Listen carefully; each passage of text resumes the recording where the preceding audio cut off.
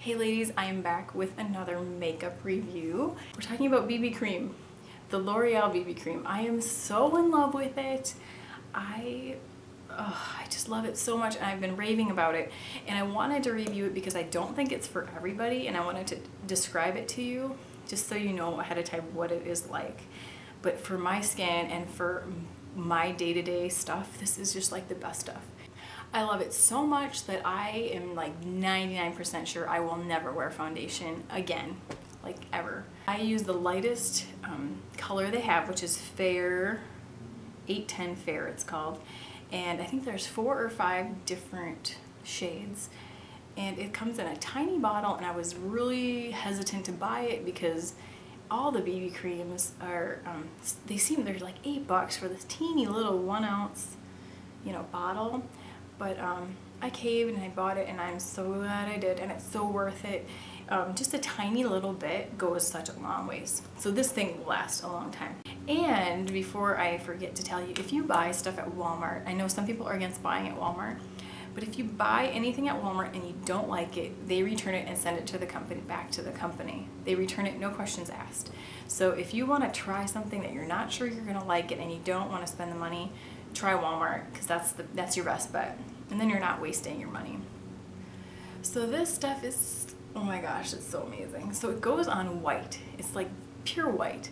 And there's little tiny beads in it. And you don't really feel the beads but it kind of it doesn't feel super smooth like lotion. It's sort of like I can't describe it exactly. It's not sandy. It's just very, oh my gosh, it's awesome. I love it. So you put it on your face and it's all white. And then it turns like color on your face. It's just amazing.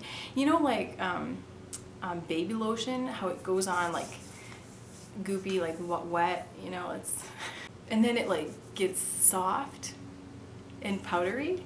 That's what this is. It goes on like lotion and then it gets powdery and it's just, oh my gosh, I don't know how to describe it to you. It's just so great. This, this would not be for oily skin. I would not recommend it if you have oily skin or if you have a lot of blemishes on your face, if your face has a lot of redness or a lot of, um, if you would need a lot of concealer or anything like that, I wouldn't use this with this. It does not, it's really light and I think you could see right through it. And I think if you had concealer on, I think it would look kind of not even. If I put a, my moisturizer, I usually wear a moisturizer, but if you put moisturizer on and then this, it's way too greasy. I don't like it. Um, so this hydrates, so I don't need any moisturizer. This is the only thing I put on my face. But it just evens out your skin tone. It just brings everything together. If I'm even saying that right.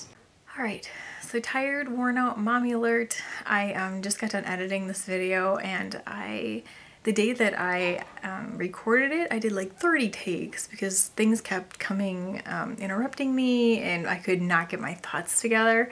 So I figured, oh, I sat down to edit it and I thought, oh, if I piece little pieces of this and that, I'll be able to tell you all the things that I wanted to say about the BB cream.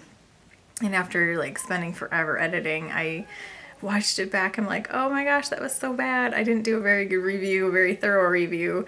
But um, that is the short, tired mommy version. Um, I've had a lot going on. Um, as you can see, my face is breaking out and I've had very little sleep. Um, Monday, Tuesday, Wednesday, we had water pouring into our house in our basement. Um, it rained five inches, but prior to that, this spring, we had a lot of snow. So the the soil was just like completely saturated and then we got five inches on top of that. So we've had sleepless nights and busy, busy days of trying to get rid of this water and we had just newly remodeled our basement. So it was such a mess. Bad luck. We have some bad luck over here. So that is that. But I wanted to post this video just because I spent so much time on it and I spent time editing it and I didn't want to just toss it out like I typically do with everything else. So, so that is that. I hope you enjoyed. Thank you for watching and next time I promise to do a better review. Bye.